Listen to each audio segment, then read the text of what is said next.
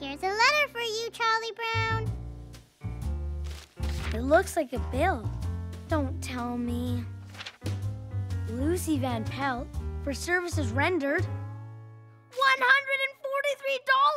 $143! Did you send me this bill for $143? Yes, this is my bill. You're upset, aren't you?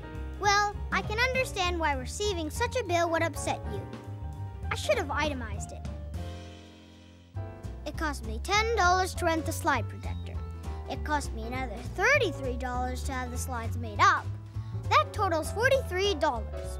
The $100 is for my personal fee, so all in all, you owe me $143.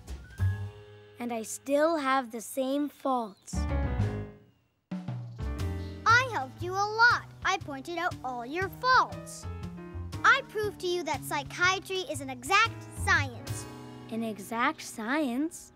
Yes. You owe me exactly $143.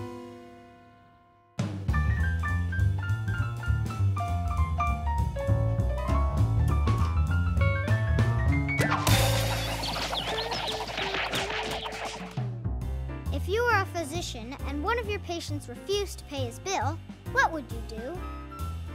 Well, I don't know. Maybe you could threaten to beat him up. I wonder if that would be ethical. To the AMA.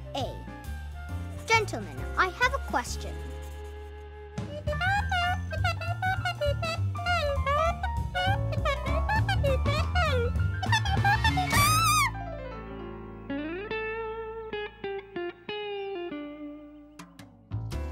Then again, I sometimes feel like I'm. Five cents? Huh, that's a laugh. What did he mean by that? Don't pay any attention to him. Go on with your problem.